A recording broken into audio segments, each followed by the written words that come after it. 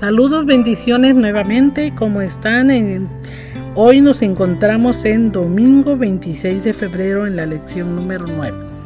Vamos a pedir la bendición de nuestro Creador para continuar adelante.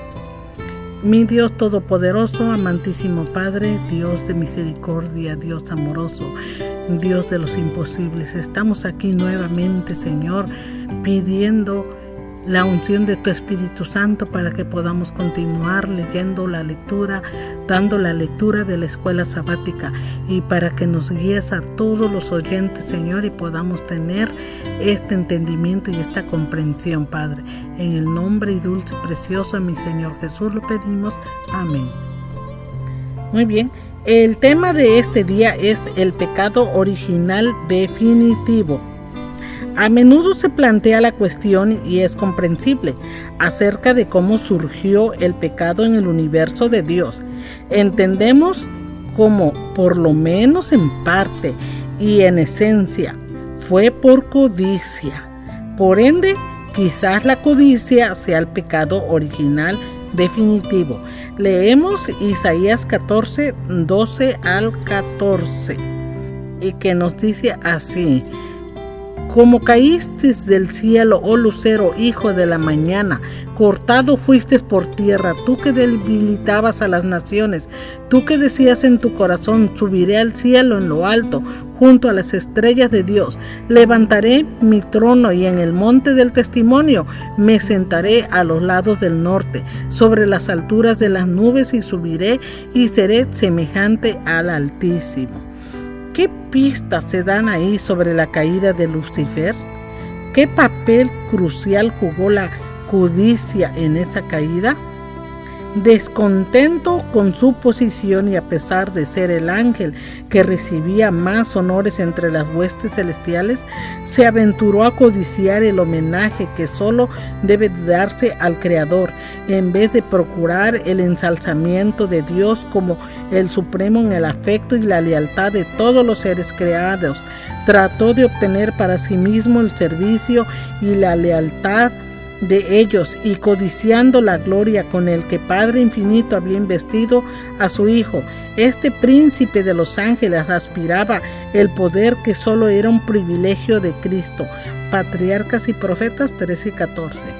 Leemos Efesios 5:5, 5, que nos dice así.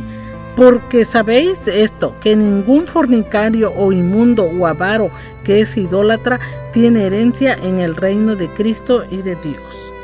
Colosenses 3:5 Haced morir pues lo terrenal en vosotros, fornicación, impureza, pasiones desordenadas, malos deseos y avaricia, que es idolatría. ¿Con qué equipará Pablo la codicia y por qué? Es fascinante notar que dos veces Pablo compara la codicia con la idolatría. La gente practica la idolatría cuando adora, es decir, dedica su vida a algo que no es Dios, algo creado en vez de el creador. Romanos 1:25. Codiciar entonces podría ser desear algo que no deberíamos de tener y desearlo tanto que nuestro deseo para ello antes del Señor se convierta en el centro de nuestro corazón Indudablemente el principio Lucifer no sabía dónde lo llevarían sus deseos equivocados. Lo mismo puede ocurrir con nosotros. El mandamiento contra la codicia, el único mandamiento que se ocupa únicamente de los pensamientos, puede evitar que realicemos actos que también lleven a la violación de otros mandamientos. Ver ejemplo en 2 de Samuel 11. Leemos Timoteo capítulo 6 versículos 6 y 7. Pero gran ganancia es la piedad acompañada de contentamiento, porque nada hemos traído a este mundo y sin duda nada podremos sacar. Centrarnos en lo que Pablo escribe aquí, ¿cómo puede ayudarnos a proteger de la codicia? Esto fue la lectura domingo 26 de febrero, el pecado original definitivo. Oramos para darle gracias a Dios. Padre bendito, mi Dios todopoderoso, Señor, nos enseñas tanto en estas lecciones, Padre, de sabemos cómo fue el pecado, cómo entró el pecado, Señor, y cómo nosotros arrastramos todas estas cosas que están implantadas en nuestra mente, en nuestro corazón. Padre Santo, le suplicamos humildemente a que todos los oyentes tengamos esto, Señor, nos los quites, nos los limpies, nos hagas puros de corazón, Padre bendito, para poder adorarte, alabarte y servirte. Señor. Bendice a todos mis hermanos, Señor.